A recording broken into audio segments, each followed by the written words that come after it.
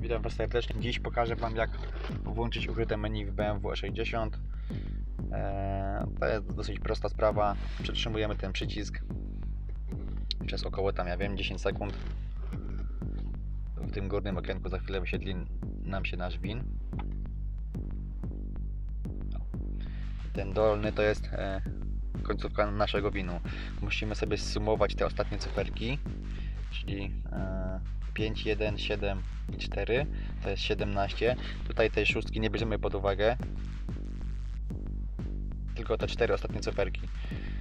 E, czyli to jest łącznie 17. Teraz jedziemy sobie na 19. A,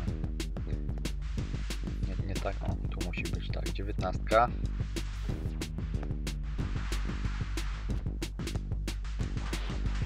Mamy 19. Jest lock on. Tu musimy wpisać na, na, naszą sumę z e, winu, czyli 17.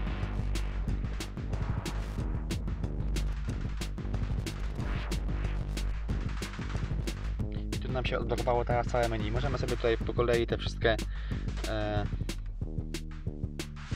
testy patrzeć. Ja Wam wstawię całą rozpiskę, za co który test odpowiada. No tutaj norm- normalnie byłoby zablokowane. E, I to w sumie tyle. Tutaj mamy różne opcje. Na przykład właśnie ładowania akumulatora, temperatury, płynu chłodzącego, silnika, takie tam podstawowe parametry, które możemy sobie popatrzeć, czy nam wszystko działa i czy jest ok. Dziś to na tyle. Taki krótki filmik.